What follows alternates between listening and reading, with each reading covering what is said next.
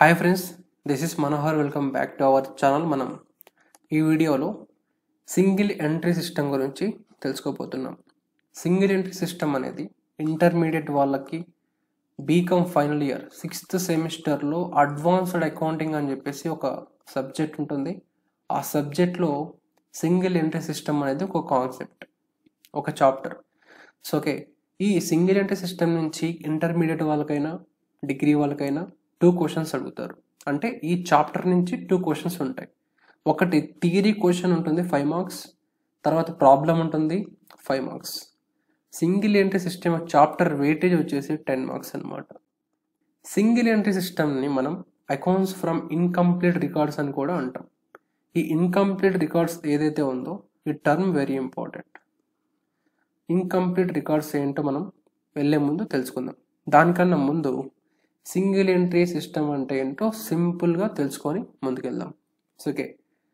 Single entry system does not follow the principles of double entry system ఇక్కడ దాకా గుర్తుపెట్టుకోండి చాలు. ఎప్పుడే గాన ఏ కాన్సెప్ట్ అయినా సరే ఏదైనా ఏ మీనింగ్ అయినా ఏ డెఫినేషన్ అయినా సరే సింపుల్ టర్మ్స్లో తెలుసుకోవడానికి అర్థం చేసుకోవడానికి ట్రై చేయండి. ఈజీగా ఉంటుంది. పెద్ద పెద్ద ఇన్ఫర్మేషన్ తీసుకొని పారాగ్రాఫ్ పారాగ్రాఫ్ అర్థం చేసుకోవాలంటే ఎక్కువ స్ట్రెచ్ చేయకండి. మీకు అర్థం కాదు. సో ఓకే డిఫికల్ట్గా ఉంటుంది. ఎప్పుడైనా సింపుల్ టర్మ్స్లోనే అర్థం చేసుకొని ట్రై చేయండి. సో ఓకే ఎస్ ఏంటి సింగిల్ ఎంట్రీ సిస్టమ్ అంటే?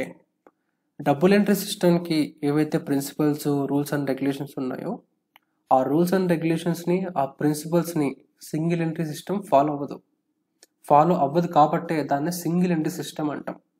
సో మనందరికీ తెలుసు డబుల్ ఎంట్రీ సిస్టంలో టూ టూ యాక్సెప్ట్స్ ఉంటాయి. డెబిట్ ఉంటుంది క్రెడిట్ ఉంటుంది. బట్ సింగిల్ ఎంట్రీ సిస్టంలో డెబిట్ క్రెడిట్ రెండు ఉండవు. అందుకే దాన్ని సింగిల్ ఎంట్రీ సిస్టమ్ అంటాం. సో ఓకే సింపుల్గా గుర్తుపెట్టుకోండి ఇక్కడ దాకా. సో ఓకే తర్వాత ఎగ్జాంపుల్ చూడండి మీకు అర్థమవుతుంది. సో డ్యూవల్ ఎఫెక్ట్ అంటాం లేదా డ్యూవల్ యాక్సెప్ట్ అంటాం. సో ఓకే ఈ డ్యూవల్ ఎఫెక్ట్ అనేది డబుల్ ఎంట్రీ సిస్టమ్ యొక్క one of the principle. So okay చూడండి. ఏంటి డ్యూవల్ ఎఫెక్ట్ అంటే each and every transaction undertaken by business as two effects like debit credit. Debit వైపు చూపించాలి మనం క్రెడిట్ వైపు చూపించాలి. మనం ఇంత ఇప్పటిదాకా చేసిన వీడియోస్లో ప్రతి వీడియోలో మీకు డెబిట్ కనిపించుంటుంది క్రెడిట్ కనిపించుంటుంది. అది డబుల్ ఎండ్ సిస్టమ్ అంటాం. ఇప్పుడు వచ్చే ప్రాబ్లమ్స్లో మీకు డెబిట్ కనపడదు క్రెడిట్ కనపడదు. ఎందుకు కనపడదు అంటే సింగిల్ ఎండ్ సిస్టంలో డెబిట్ క్రెడిట్ ఉండవు. ఇదొక్కటి మీరు గుర్తుపెట్టుకుంటే చాలు. సో ఓకే తర్వాత ఇంకొక పాయింట్ చూడండి. Only personal accounts debtors creditors accounts maintain under single entry system ఈ single entry system only personal అకౌంట్స్ని మాత్రమే ఫాలో అవుతుంది. లేదా only personal accounts are maintained under this single entry system okay ఇది ఒకటి గుర్తుపెట్టుకోండి. పర్సనల్ అకౌంట్స్ అంటే మనకు తెలుసు. Okay debtors creditors okay debtors ఎవరు? క్రియేటర్స్ ఎవరు అని అంటే ఫస్ట్ డేటాస్ ఫస్ట్ డేటాస్ ఎవరు? ఫర్ ఎగ్జాంపుల్ నేను మీకు డబ్బులు ఇచ్చాను. లేదు మీరు నాకు డబ్బులు ఇవ్వాలి. నా దగ్గర నుంచి మీరు ఏదో ఒక వస్తువు కొనుక్కొని వెళ్ళారు కానీ డబ్బులు ఇవ్వలేదు మీరు నాకు. నాకు మీరు ఫ్యూచర్లో ఇస్తారని చెప్పారు. సో మీరు నాకు డేటాస్ అవుతారు.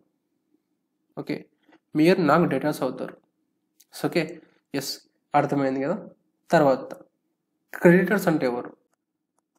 మీ దగ్గర నుంచి నేను డబ్బులు తెచ్చుకున్నా.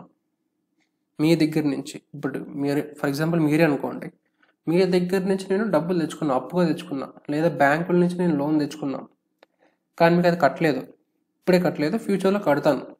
ఓకే మీరు నాకు ఏమవుతారంటే క్రెడిటర్స్ అవుతారు. ఓకే క్రెడిటర్స్ అని చెప్పేసి నేను లైబిలిటీ కింద రాసుకుంటా. వీళ్ళకి ఇంత ఇవ్వాలి మనీ నేను ఫ్యూచర్లో అని. ఓకే సింపుల్గా అర్థం చేసుకోవడానికి ట్రై చేయండి.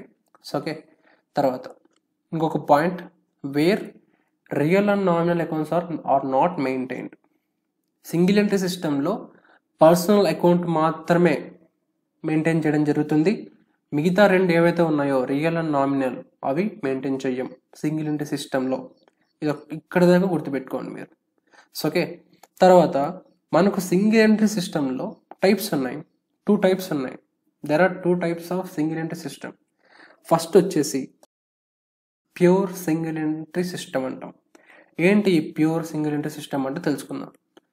Under this system the dual aspect concept is ignored okay okay ignored ఇందాక మనం తెలుసుకున్నాం కదా డ్యూయల్ యాక్సెప్ట్ అంటే బిట్ క్రియేట్ అని. దాన్ని ఇక్కడ ఇగ్నోర్ చేయడం జరుగుతుంది. ఓకే సరే? తర్వాత. Only the personal accounts of debtors creditors are maintain ఈ పాయింట్ కూడా మనం ఇందాక తెలుసుకున్నాం. All real and normal accounts are not maintain ఇది కూడా తెలుసుకున్నాం. And this type of single system is popular because even cash book also is not maintain ఈ pure single system okay ఈ ప్యూర్ సింగిల్ సిస్టంలో మనము డ్యూల్ యాక్సెప్ట్ కాన్సెప్ట్ని ignore చేస్తాం. Only personal accounts మాత్రమే మెయింటైన్ చేస్తాం. Real and normal accounts maintain చేయం.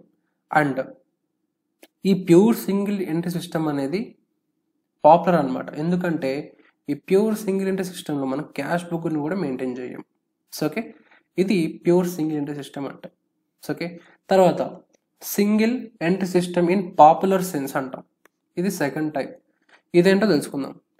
Under this system under this single entry system in popular sense subsidiary books are maintained okay subsidiary books are maintains subsidiary books అంటే అందరికీ idea ఉన్నాయి అనుకుంటున్నాను.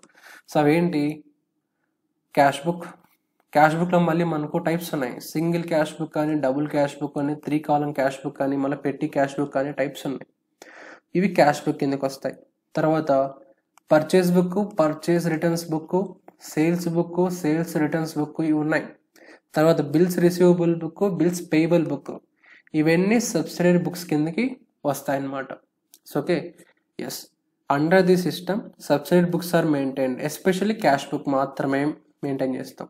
ఈ single entry system in popular sense టైప్లో so ఓకేనా yes తర్వాత the cash transactions relating to real and nominal accounts are also taken into account ఇందాకేమో real account nominal account follow అవ్వద్దు అని చెప్పారు. ఇప్పుడు మళ్ళీ cash transactions relating to real and nominal accounts తీసుకో తీసుకుంటాం అని చెప్తున్నారు.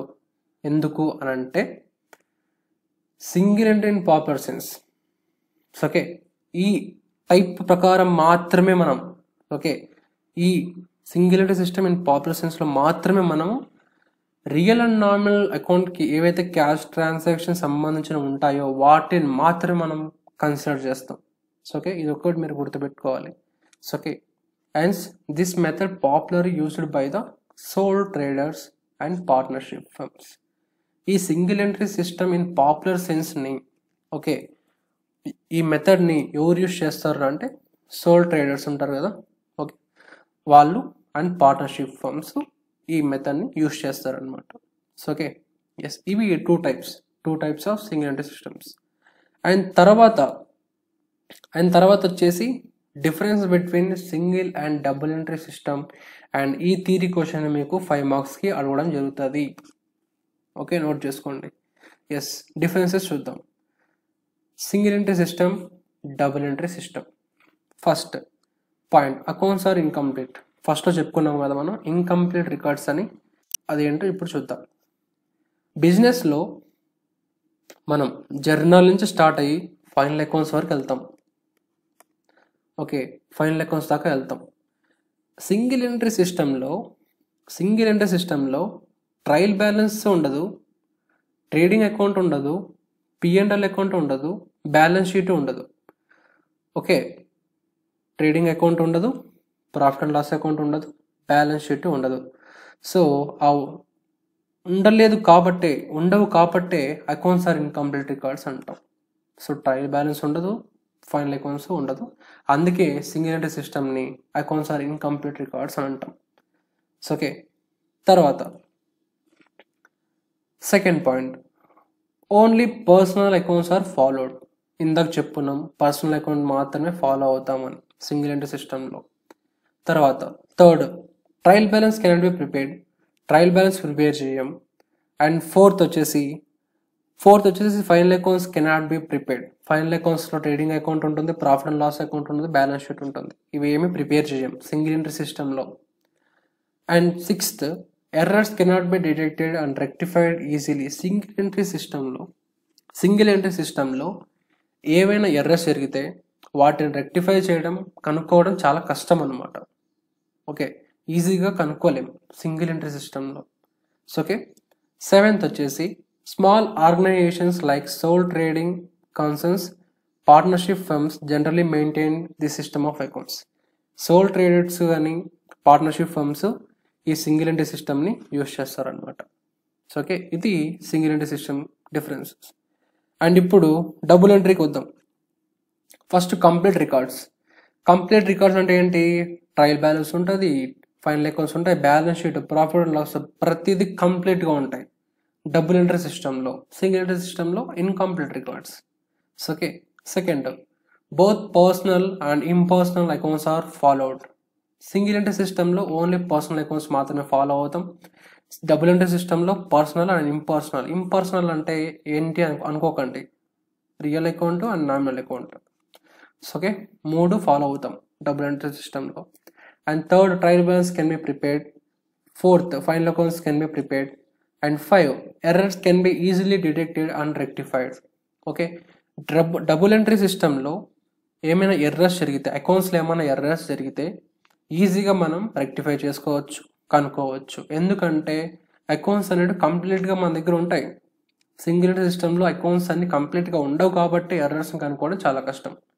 సో ఓకే తర్వాత sixth one all types of organizations including companies can be maintained double entry సిస్టమ్ని ఆల్ టైప్స్ ఆఫ్ ఆర్గనైజర్స్ ఏవైతే ఉన్నాయో అవన్నీ దాంతో పాటు కంపెనీస్ కూడా డబుల్ ఎంట్రీ సిస్టమ్ని ఫాలో అవుతాయి అన్నమాట ఇవి major differences between single and double entry system ఇది ఫైవ్ మార్క్స్కి ఇంపార్టెంట్ తర్వాత ఇప్పటిదాకా చెప్పుకున్నాం single entry system single entry సిస్టంలో ట్రేడింగ్ అకౌంట్ ఉండదు ప్రాఫిట్ అండ్ లాస్ అకౌంట్ ఉండదు బ్యాలెన్స్ షీట్ ఉండదు. తర్వాత ట్రయల్ బ్యాలెన్స్ ప్రిపేర్ చేయమని. మరి ఏం ప్రిపేర్ చేస్తాం సింగిల్ ఎంట్రీ సిస్టంలో అని అంటే ఇప్పుడు చూద్దాం. Preparation of single entry system accounts account కాదు అకౌంట్స్ ఈ త్రీ ప్రిపేర్ చేయాల్సి ఉంటుంది మనం సింగిల్ ఎంట్రీ సిస్టంలో. ఫస్ట్ వచ్చేసి statement of affairs. Statement of affairs. పేరు కొత్తగా ఉంది బట్ స్టేట్మెంట్ ఆఫ్ అఫైర్స్ మనం ఇంతకు ముందే చేసేసాం కూడా. ఏంటి? Balance sheet. Okay statement of affairs అంటే నథింగ్ బట్ బ్యాలెన్స్ షీటే. కానీ పేరు మారింది. సింగిల్ ఎంట్రీ సిస్టంలో పేరు మార్చారు అంతే స్టేట్మెంట్ ఆఫ్ అఫేర్స్ అని పెట్టారు. డబుల్ ఎంట్రీ సిస్టంలో బ్యాలెన్స్ షీట్ అని ఉంటుంది. అంతే. పెద్ద డిఫరెన్స్ ఏముండదు భయపడకండి. ఈజీ. ఓకే అది ప్రిపేర్ చేయాలి. And second statement of profit and loss prepare చేయాలి. Okay statement of profit or loss prepare చేయాలి. అండ్ థర్డ్ వచ్చేసి this is not required but అడిగితే మాత్రం చేయాల్సి ఉంటుంది. Okay revised statement of affairs అంటాం. ఇది మనకి ఇంపార్టెంట్ అది కాదు. ఫస్ట్ టూ ఏ మనం ప్రిపేర్ చేస్తాం. ఒకవేళ అడిగితే ఇది చేయాల్సి ఉంటుంది. అంతే తప్ప ఇది మనకి పెద్ద ఇంపార్టెంట్ అయితే కాదు. ఎస్ ఇప్పుడు చూద్దాం. ప్రొఫార్మా చూద్దాం. ఫస్ట్ స్టేట్మెంట్ ఆఫ్ అఫేర్స్ అన్నాం నథింగ్ బట్ బ్యాలెన్స్ షీట్ అన్నాం. సేమ్ లైబిలిటీస్ ఉంటాయి అసెట్స్ ఉంటాయి.